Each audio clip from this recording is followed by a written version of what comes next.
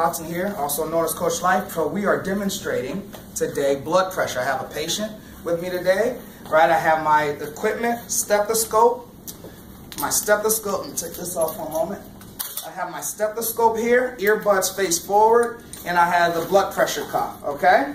Now, what we have with our patient here, I think we're gonna have her, her, her, hand, her arm, like so, palm facing up, grab the blood pressure cuff.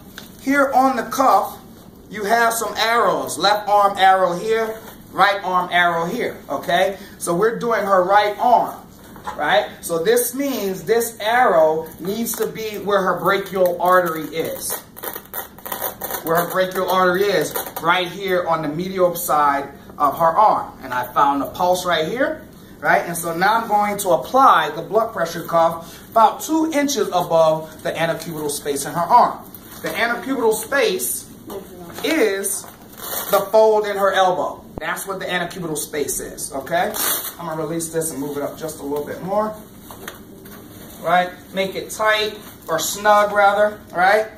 Now I'm gonna put my cuff in, my stethoscope in, make sure that it's open, okay? Now what I'm going to do, place the chest piece right on the brachial artery, the thumb screw is closed. The, the gauge, come on over camera and take a look at the gauge. It's on zero. All right, and so now I'm the, the thumb screw is closed. I am pumping up to 180 to 200.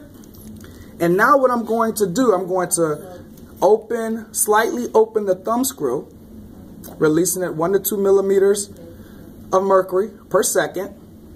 And now I'm listening.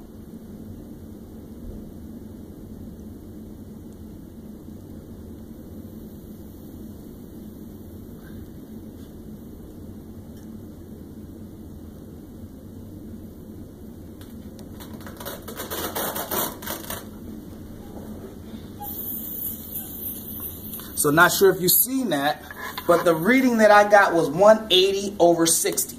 I got one, not 180, 108 over 60. 108 over 60 is the reading that I got. All right, so I just demonstrated with to you um, the steps on how to obtain a blood pressure. All right, thank you very much. Check out lifeprobenefitsgroup.com. You can find me on um, YouTube at uh, Coach LifePro or find, uh, like me on uh, Facebook at LifePro. Thanks.